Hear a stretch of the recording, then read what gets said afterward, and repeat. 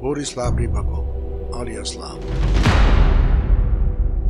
Kétszer ítéltek el betörésért és erőszakos rablásért.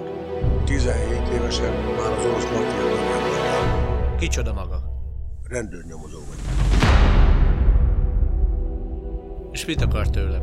Ez csak egy üzlet. Semmi személyes. Nem érdekel.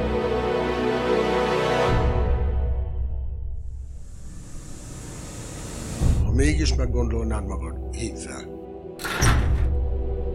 Most akkor pontosan mennyi pénzről is van szó. 20 milliót jelent. Fejenként. És ki a megbízó?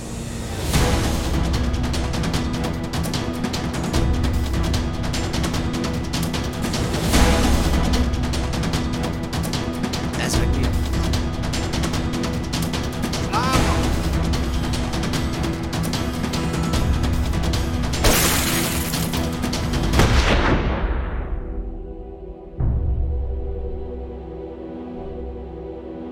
Elveszítesz mindent.